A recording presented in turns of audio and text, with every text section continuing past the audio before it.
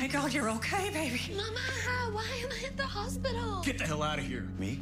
You should go. I'm the only one helping Britney. Please stop. You think I don't know men like you? You're everywhere, you cockroach. You should talk. Don't want any yelling. I just want everyone to get along, please.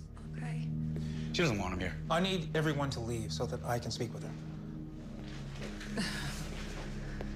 You can go in the waiting room.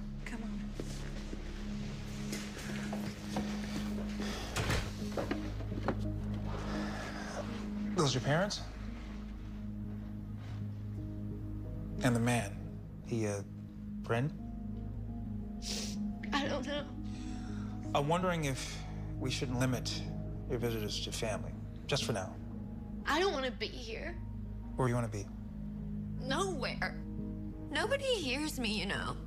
Nobody listens to anything I say. Everyone speaks for me, but I'm a person. You know? I do. And I'm listening. And I want to help you. But you have to be open to it. And that means being here a little while and participating. Maybe trying new meds.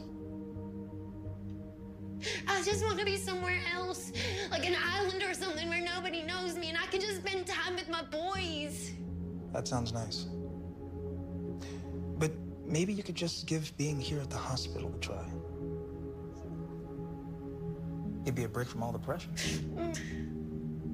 Don't you want a break? Mm, I want to be strong. You will be.